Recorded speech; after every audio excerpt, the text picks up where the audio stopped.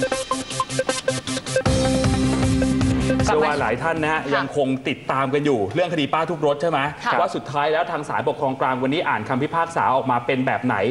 ล่าสุดมีการอ่านคำพิพากษาออกมาแล้วนะครับคุณผู้ชม ไปดูกันนะครับคดีที่นางสาวบุญศรีแสงหยกตระการเจ้าของบ้านพักอาศัยในหมู่บ้านเสรีวิลล่าและพวกรวม 4 คน ยื่นฟ้องผู้ว่ากทมผอเขตประเวศสำนักงานเขตประเวศและกรุงเทพมหานคร กรณีปล่อยให้สร้างตลาด 5 แห่งรอบบ้านพักโดยไม่ชอบด้วยกฎหมาย สรุปวันนี้ศาลปกครองกลางแผนกคดีสิ่งแวดล้อมอ่านคำพิพากษาคดีนี้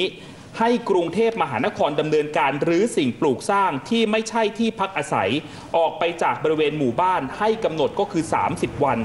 แล้วยังให้จ่ายเงินชดเชยค่าความสงบสุข ให้กับนางสาวบุญศรีแสงหยกตรการและครอบครัว เป็นเงิน1ล้าน4แสนบาทภายใน 60 วัน ซึ่งถามป้าบุญศรีท่านก็บอกว่าพอใจกับคำตัดสินที่ออกมาครับส่วนท่าทีของทางกรุงเทพมหานครวันนี้ทางท่านผู้อำนวยการเขตประเวศ ยังไม่ได้ให้สัมภาษณ์กับสื่อแต่อย่างใด บอกแต่เพียงว่าเดี๋ยวจะนำผลก็คือคำพิพากษาครับไปหารือกับพลตำรวจเอกอัศวินขวัญเมืองท่านผู้ว่าราชการกรุงเทพมหานคร